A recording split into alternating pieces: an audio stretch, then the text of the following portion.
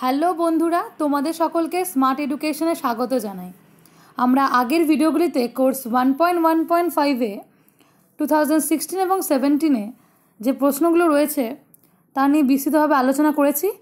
যারা এখনও ভিডিওগুলি দেখোনি, তারা ভিডিওটি দেখে নিও এবং স্মার্ট এডুকেশন চ্যানেলটিকে সাবস্ক্রাইব করো। আমাদের আজকের আলোচনার বিষয় হলো, যেটা ফার্স্ট সেমিস্টারে শেষ কোর্স যেটা, সেটা হলো EPC one reading and reflecting on text এর সিলেবাসটাকে দেখব এবং টু থাউজেন্ড সিক্সটিন এবং সেভেন্টিনের কোশ্চেন প্যাটার্নটাকে দেখব।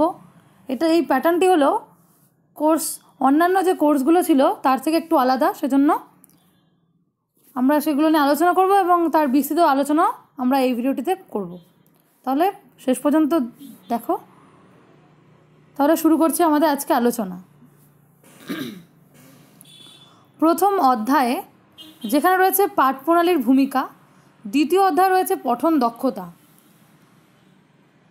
এই পঠন দক্ষতার মধ্যে রয়েছে পঠন প্রণালীর পর্যায়সমূহ, পঠন প্রণালীর শ্রেণীবিভাগ পঠন প্রণালীর পাঠকৌশল বা স্কিমিং বা স্ক্যানিং যেটাকে বলা হয়েছে।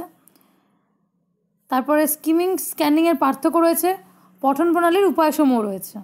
এই ছিল প্রথম অধ্যায়ের বিভিন্ন বিষয় এবং তৃতীয় অধ্যায় যেখানে পাঠ্যপুস্তকের পঠন রয়েছে। পাঠ্যপুস্তকের প্রকারভেদ, সেটা কথনমূলক পাঠ্য তথ্য নির্ভর পাঠ্য, বর্ণনামূলক পাঠ্য, ব্যঞ্জনাপূর্ণ পাঠ্য, পর্যবেক্ষণমূলক পাঠ্য, ধারণামূলক পাঠ্য নিজাতি স্বাস্থ্য নীতিনাথ, নীতি, নথি কাকে বলে, ক্ষেত্র বর্ণন পাঠ্যের পাঠ্যক্রমে বিভিন্ন প্রকার পাঠ্যপুস্তকের গুরুত্ব, এই সমস্ত নিয়েই তৃতীয় অধ্যায়ের আলোচ্য বিষয় এবং চতুর্থ অধ্যায় রয়েছে পাঠ প্রণালীর দক্ষতা বৃদ্ধি, যেখানে চর্বনা পাঠ প্রণালীর দক্ষতা বৃদ্ধি রয়েছে পাঠ প্রণালীর প্রতিফলন দক্ষতা রয়েছে এবং এর অন্তর্ভুক্ত রয়েছে পাঠ প্রণালীর পটুত্ব বৃদ্ধির জন্য প্রয়োজনীয় ক্রিয়াকলাপ, পাঠন পটুত্ব বৃদ্ধিতে মেটাগনিশন। এবং শেষ অধ্যায়, যেটা পঞ্চম অধ্যায়, যেখানে পাঠ প্রণালীর বোধগম্যতা নিয়ে আলোচনা রয়েছে পাঠ প্রণালীর বোধগম্যতা পঠনের জন্য শব্দ তালিকার বৃদ্ধি, পঠন প্রণালীর সমস্যা। এই ছিল, আমরা খুব সংক্ষেপে এর সিলেবাসটা দেখে নিলাম। এবং আমরা আজকে আলোচনাতে টু থাউজেন্ড সিক্সটিন এবং সেভেন্টিনে ইপিসির কোশ্চেন প্যাটার্ন নিয়ে আলোচনা করব। সিক্সটিন এবং সেভেন্টিন দুটো নিয়ে আলোচনা করব আমরা।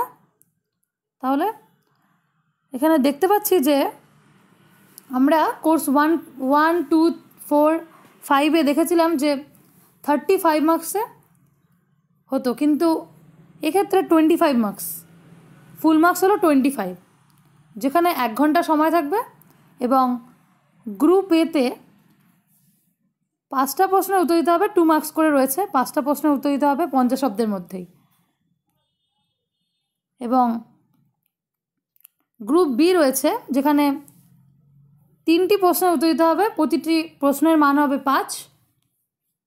এবং তিনটি প্রশ্নের মান দিতে হবে, উত্তর দিতে হবে এবং দেড়শো শব্দের মধ্যে এটা দিতে হবে। কিন্তু গ্রুপ সি এখানে নেই, আগে যেমন একটা টেন মার্কসও দেওয়া ছিল, সেটা এখানে নেই।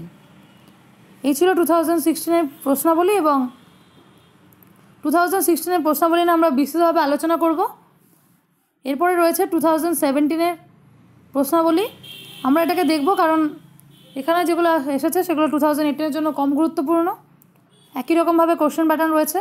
গ্রুপ এ এবং গ্রুপ বিতে ভাগ করে দেওয়া রয়েছে। এখানে গ্রুপ সি দেওয়া নেই। তাহলে আমরা টু থাউজেন্ড সিক্সটিনে যে টু মার্কসগুলো আছে সেটা নিয়ে একটু আলোচনা করি। প্রথমত, আদর্শ পাঠের চারটা বৈশিষ্ট্য। অর্থাৎ প্রথমত নির্ভুলতা হবে এবং গতি রয়েছে যে আদর্শ পাঠের ক্ষেত্রে পাঠক কম সময়ে কোনো বিষয়বস্তুকে পাঠ করবে এবং তার যথাযথভাবে গ্রহণ করতে পারবে। তৃতীয়ত হলো, উপলব্ধি কোনো বিষয়বস্তুকে পাঠ করতে সম্পূর্ণভাবে উপলব্ধি করা প্রয়োজন এবং এবং চতুর্থত রয়েছে অনুভূতি। বিষয়বস্তু মাধুর্যতা, চরিত্র, রচনা, কলাকৌশল, লেখকের প্রকাশভঙ্গি ইত্যাদি দ্বারা অভিভূত হবে। ইত্যাদি দ্বারা অভিভূত হবে। এই হলো আদর্শ পাঠের চারটা বৈশিষ্ট্য। এরপরে রয়েছে সৃজনমূলক পাঠ বলতে কী বোঝানো হয়েছে? ক্রিয়েটিভ রিডিং বিষয়বস্তুকে পুরোপুরিভাবে আত্মস্থ করে নতুন দৃষ্টিভঙ্গিতে বিচার বিশ্লেষণ করা। নতুন ভাবনার আলোকে উদ্যাসিত করা, অর্থাৎ পুনঃসৃষ্টি করা। ইত্যাদি হলো সৃজন পাঠের অন্তর্ভুক্ত। সৃজন পাঠের মাধ্যমে পাঠকের মনে মূলত রসাসাধন ও রস বিশ্লেষণ ঘটে থাকে। এই হলো সৃজনমূলক পাঠের সংজ্ঞা। এরপরে রয়েছে পুঙ্খানুপুঙ্খ পাঠ। পুঙ্খানুপুঙ্খ পাঠ হলো একটি সময় সাপেক্ষ মনসংযোগ ধর্মী ও গভীর অধ্যাবসায়যুক্ত পাঠ। অর্থাৎ একটা বিষয়কে সম্পূর্ণভাবে জানা। এটা হলো পূর্ণাঙ্গ পাঠ বলা হয়েছে। যে পাঠে ভাষাকে পূর্ণাঙ্গ, পূর্ণাঙ্গভাবে, অর্থাৎ পুঙ্খানুপুঙ্খভাবে অনুশীলন করা হয়, অর্থাৎ পাঠে ব্যবহৃত যে প্রতিটা শব্দের অর্থ, বাক্যের গঠন, ব্যাকরণগত বৈশিষ্ট্য, সমস্ত কিছুতে কী করা হয়? বিশ্লেষণ করা হয়। সেটাই হলো পুঙ্খানুপুঙ্খ পাঠ। এই পাঠকে কার্যকরী করার জন্য বহু তথ্য সম্বলিত পুস্তক বা সহায়ক পুস্তক ব্যবহার করা হয়ে থাকে। এই ছিল পুঙ্খানুপুঙ্খ পাঠের সংজ্ঞা। এরপর রয়েছে ক্ষেত্র সম্পর্কিত টিকা লিখতে বলেছে। এইগুলো, এই টু মার্কসের প্রশ্নগুলো টু থাউজেন্ড এইটিনের জন্য খুবই গুরুত্বপূর্ণ। সেজন্য এই প্রশ্নগুলোকে খুব ভালো মতো পড়বে। বলেছে যে ক্ষেত্র সম্পর্কিত টিকা, যেখানে গবেষক, পর্যবেক্ষক, ক্ষেত্র সমীক্ষক, প্রমুখের দ্বারা যত্ন সহকারে লিখিত বিবরণ যা দ্বারা কোনো একটা ঘটনা পর্যবেক্ষণের সময় বা ক্ষেত্র সমীক্ষার সময় যত্ন সহকারে লিপিবদ্ধ করে। সাধারণত ভূগোল নৃবিদ্যা, জ্যোতির্বিদ্যা প্রভৃতি সম্পর্কেই এই ক্ষেত্র সম্পর্কিত টিকা ভূমিকা পালন করে থাকে। এরপর রয়েছে পঠনের সংজ্ঞা দাও। পঠন কাকে বলে? ধ্বনি এবং দৃশ্য। এই মনোসংযোগের মধ্যে যে একটা মর্মগ্রহণ প্রক্রিয়া, সেটাই হলো পঠন। পঠন অর্থাৎ কি? একটা শিশু যখন প্রথম পড়তে শেখে, তখন কি হয়? সরবে বানান করে শব্দ ভেঙে ভেঙে সে বই পড়া শেখে। মাইকেল ওয়েস্ট বলেছে যে process of sight sound sense এই যে মিলিত প্রক্রিয়া সেটাকেই বলেছে হলো পঠন। শব্দ তালিকা বলতে কি বোঝানো হয়েছে? যে সকল শব্দ বা শব্দগুচ্ছ শিক্ষার্থীরা তাদের শিক্ষণ শিক্ষণ, শিখন প্রক্রিয়ায় ব্যবহার করে, সেই সকল শব্দ বা শব্দগুচ্ছের সৃষ্ট তালিকাকে বলা হয়েছে শব্দ তালিকা। এরপরে রয়েছে ডিসোলেক্সিয়া কি? বিসোলেক্সিয়া হলো এক ধরনের পঠন অক্ষমতা যার কারণে শিক্ষার্থীদের পড়তে প্রতীক চিহ্ন বা শব্দের অর্থ আত্মস্থ করতে সুবিধা হয়। ডিসোলেক্সিয়া হলো অসুবিধা করে, সুবিধা করে না, অসুবিধা সৃষ্টি করে। ডিসোলেক্সিয়ার কারণে কি হয় যে শিক্ষার্থীদের মধ্যে অক্ষর উল্টো করে লেখা বা উল্টো পড়ার প্রবণতা শব্দে অক্ষরে অবস্থান পরিবর্তন করে পড়ার প্রবণতা ইত্যাদি লক্ষ্য করা যায়। এই ছিল ডিসেলেক্সিয়া, যেটা অসুবিধা তৈরি করে। এই ছিল গ্রুপের আমরা টু মার্কস নিয়ে আলোচনা করলাম এবং গ্রুপ বি যেখানে ফাইভ মার্কসের প্রশ্ন রয়েছে, তিনটা প্রশ্নের উত্তর দিতে হবে। এটা হলো টু থাউজেন্ড সিক্সটিনে এগুলো প্রশ্নাবলী। পঠন বলতে কি বোঝানো হয়েছে এবং এটি পাঠকের সমৃদ্ধিতে কীভাবে প্রভাবিত করে? আমরা পঠনের সংজ্ঞাটা আগেই জেনে নিলাম। এবার বলেছে যে পঠন, পাঠকের সমৃদ্ধিতে কীভাবে পঠন গুরুত্বপূর্ণ ভূমিকা নিয়ে থাকে। এখানে অনেকগুলো বিষয় বলেছে। শিক্ষার্থীদের ভাষাতাত্ত্বিক উন্নয়ন এবং ভাষা সম্পর্কে জ্ঞান বহুলাংশে পাঠনের উপর নির্ভর করে। পঠনের দ্বারাই শিক্ষার্থী ভাষা সম্পর্কে জ্ঞান লাভ করতে পারে। পঠনের দ্বারা আমাদের জ্ঞানের যে পরিধি, সেটা বিস্তৃতি হয়। পঠনের অভ্যাস আমাদের আত্মবিকাশ ব্যক্তিত্ব গঠন ইত্যাদিতে সাহায্য করে। সরব পাঠের মাধ্যমে সঠিক উচ্চারণ করা শিখতে পারে এবং কোনো আর যদি কোনো ত্রুটি হয়, তাহলে সেটা শুধরে শিক্ষক শিক্ষিকারা তা শুধরে দিতে পারে। সঠিক উচ্চারণ রীতি ছাড়াও সরল পাঠের মাধ্যমে শিক্ষার্থীর সঠিক বাচনভঙ্গি ও কথনশৈলী শিক্ষা দেওয়া হয়। বিভিন্ন গল্প, উপন্যাস, কবিতা ইত্যাদি রচনায় লেখকের যে ভাব বা অনুভূতি থাকে, তার সার্থক কিন্তু এই পঠনের মাধ্যমে হয়ে থাকে। পঠনের মাধ্যমে শিক্ষার্থীর মধ্যে একটা ইতিবাচক মনোভাব তৈরি হয়।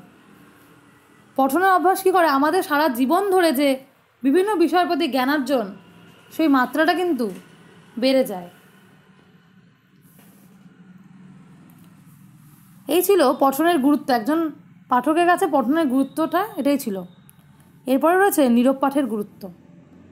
নীরব পাঠের গুরুত্বটা কী? যেহেতু এগুলো ফাইভ মার্কসের প্রশ্ন আমরা সেহেতু এখানে পাঁচটা পয়েন্টস আলোচনা করব।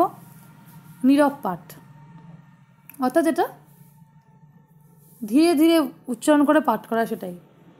চিন্তাশীল অধ্যয়ন, গবেষণা বা কোনো মৌলিক চিন্তাভাবনার ক্ষেত্রে নীরব পাঠ অত্যন্ত প্রয়োজনীয়। মননশীল গদ্য, পদ্য, প্রবন্ধ বুঝতে হলে ধীরে ধীরে বুঝতে হবে। এটাই হলো নীরব পাঠের উপযোগিতা। অল্প সময় অনেক বেশি শব্দ পড়া যায়। নীরব পাঠের ক্ষেত্রে আমাদের চোখ পংক্তি বরাবর একই রকম গতিতে অগ্রসর হয় না। মাঝে মাঝে চোখের গতি বিরাম ঘটে। একই লাইন সাধারণত চার বা পাঁচবার চোখের গতি বিরাম ঘটে। চোখ যখন চলতে থাকে তখন তারা অর্থ উপলব্ধি হয় না। বিরতির সময় অর্থের উপলব্ধি হয়। তাহলে কী হয়? অভ্যাসের দ্বারা নিরপাঠের গতি বাড়ানো সম্ভব হয়। এক একটানে যত যত বেশি সংখ্যক শব্দ পড়ে ফেলার অভ্যাস হয়, ততই নিরপাঠের গতি বৃদ্ধি পাবে। মনোযোগ ও একাগ্রতার প্রয়োজন। নিরপাঠে সার্থক করে তুলতে মনোযোগ, একটা মনোযোগ সহকারে পড়লেই নিরপাঠটা সাফল্য হবে। মনোযোগ, একাগ্রতা ছাড়া সাফল্য সম্ভব নয় বা ফলদায়ী নয়। কম সময়ে কোনো ধারণাকে অধিগত করতে সাহায্য করে।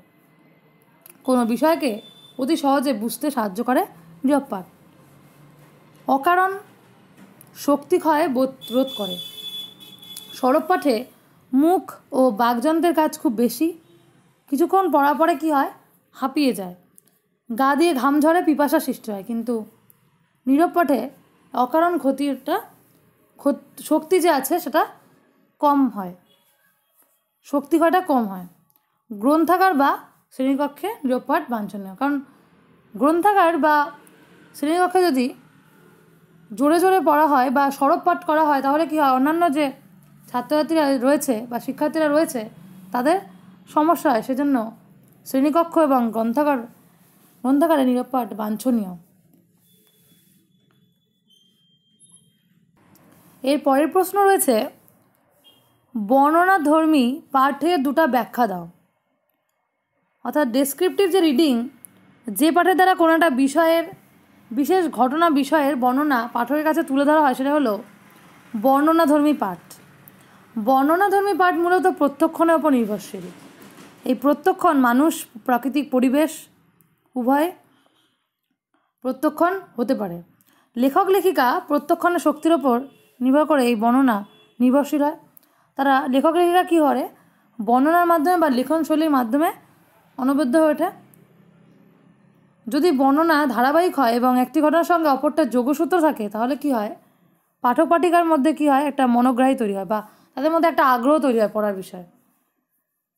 এবং দ্বিতীয় দুটি বিষয়ের দিক হলো লেখক লেখিকা প্রত্যক্ষণ বা কল্পনা করার ক্ষমতা এবং সেগুলো বর্ণনা করার ক্ষমতা। বর্ণনামূলক পাঠের মাধ্যমে পাঠক পাঠিকা লেখক দ্বারা সৃষ্ট জগতে পৌঁছে যায় এবং পাঠক পাঠিকার নান্দনিক চাহিদা পূর্ণ হয়। এই ছিল বর্ণনাধর্মী পাঠের দুটো দিক। এরপরে রয়েছে প্রত্যাশিত মানসিক চেতনা। সাধারণত রিফ্লেকশন শব্দটি মনস্তাত্ত্বিক বিজ্ঞান বা সাইকোলজির সঙ্গে যুক্ত।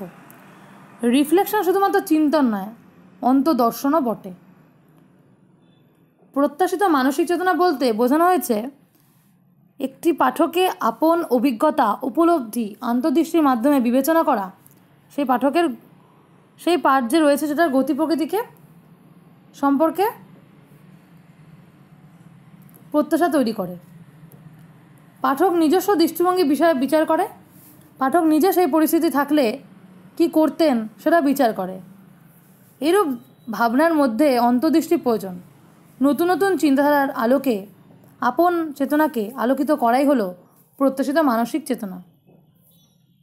তাই প্রত্যাশিত মানসিক চেতনা হলো একটা মানসিক প্রক্রিয়া যা সংশ্লেষণমূলক দক্ষতার প্রয়োজন হয়। এরপরে শেষ যেটা রয়েছে ফাইভ মার্কসের পঠন উপলব্ধির ক্ষমতা বিকাশ সাধনে কোন কোন কৌশল কার্যকরী? সেটা বলেছে। প্রথমত, সঠিকভাবে মনোযোগ সহকারে পড়তে হবে বা শুনতে হবে। কোন একটা বিষয়, পঠন কৌশলের যে কিছু বিকাশ সাধনের যে কৌশলগুলো রয়েছে সেটার মধ্যে প্রথমত হলো যে মনোযোগ সহকারে কোনো একটা বিষয় শোনা। শ্রেণি শ্রেণীতে যখন অন্য কোনো ছাত্র পড়াবে বা অন্য ছাত্র যাতে মন দিয়ে সেটাকে শোনে, শিক্ষক সে ব্যাপারে শিক্ষার্থীদের নির্দেশ দেবে। শ্রোতা পাঠককে বিষয়টি মন দিয়ে শুনতে হবে। কোন বিষয় সে, কোন বিষয়ে পাঠ করছে হ্যাঁ? এবং এই মানে পাঠ করা হয়ে গেলে প্রশ্ন করতে হবে এবং দেখতে হবে যে তারা কতটা সেই মনোযোগ সহকারে শুনছিল। এইভাবে পঠন উপলব্ধি ক্ষমতা বিকাশ সাধন একটা কৌশল, সঠিকভাবে মনোযোগ সহকারে শোনা।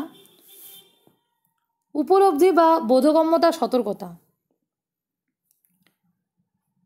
সতর্কতা, অর্থাৎ বলছে পঠনের ক্ষেত্রে যেমন নানা দিকে নজর দিতে হবে, তেমনি উপলব্ধি বা রচনাটি ঠিকমতো বোধগম্য হয়েছে কি না সে ব্যাপারে নজর দিতে হবে।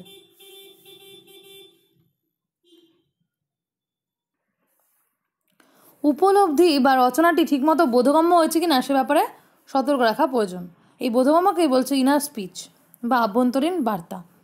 উপলব্ধির সতর্কতা বা বোধগম্যতার সতর্কতা বোঝার জন্য একজন শিক্ষক যখন ক্লাসে সরবে পাঠ দেন, তখন তাকে তার বক্তব্য পরিবেশনের জন্য মধ্যে চিন্তা করতে হয়। তিনিও ক্লাসে স্পষ্ট করে দেন যে কোনো শব্দ, পদবন্ধ, বাক্য তার বুঝতে অসুবিধা হচ্ছে।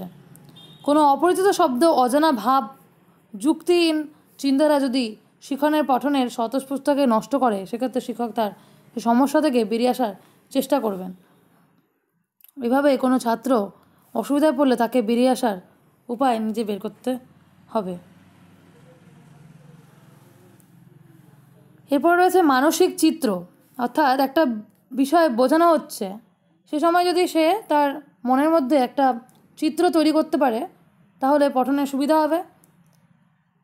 আর মানসিক চিত্র নির্ভর প্রশিক্ষণপ্রাপ্ত ছাত্ররা বা পাঠকরা বিষয়টি ভাবনা কতটা অসংলগ্ন বিচ্ছিন্ন তা বুঝতে সাহায্য করে। স্থিতিবর্ধক সংক্রান্ত অর্থাৎ কোনো একটা বিষয় সে দেখেছে বা তার মেমোরিতে আছে, শিক্ষক কোনো কিছু একটা বিষয় বিষয় বোঝাচ্ছে, সে তার সাথে সেটাকে সংযোগ স্থাপন করতে পারে। শিক্ষক নির্দেশ দিতে পারে যে কীভাবে ছবি আঁকতে হয়, ব্যবহার করতে হয়, কোন কোন শব্দবন্ধ বা কোন ধারণা দিতে পারে মানুষকে, কোন ধারণা বাক্য বা কোন রচনা অনুভূতি হতে পারে। যেমন বদমাস বলেছে, বি মানে হলো বন্ধনের চিহ্ন, অফ। এর ডিভিশন ভাগ, মাল্টিপ্লিকেশন, গুণ, অ্যাডিকশন, যোগ, সাবস্ট্রাকশন, বিয়োগ। এই যে একটা শর্ট ফর্ম একটা দিয়ে দিল, সেটা সম্বন্ধে আমরা যোগ, বিয়োগ, গুণ, ভাগ এগুলো সম্বন্ধে জানতে পারি। নকশা আঁকা সম্পর্কিত সংগঠন। এই ধরনের প্রশিক্ষণ কোনো বিষয়ে ধারণার ভিত্তিতে কীভাবে নকশা বা লেখচিত্র অঙ্কন করা যায়, পাঠককে তা দেখানো হয়। পাঠকে স্বয়ংসম্পূর্ণ সারমর্ম লিখতে ডায়াগ্রাম বা চিত্র আঁকতে চিত্র প্রদর্শন কাহিনী রচনা করতে টেক্সের ধারণা দিতে সাহায্য করে। এই ছিল পাঠন যে উপলব্ধি রয়েছে, তার বিভিন্ন কৌশলগুলো। এই ছিল আমাদের টু থাউজেন্ড সিক্সটিনের প্রশ্নাবলী নিয়ে আলোচনা। ধন্যবাদ বন্ধুরা ভিডিওটি দেখার জন্য। এবং স্মার্ট এডুকেশন চ্যানেলটিকে সাবস্ক্রাইব করো। Thank you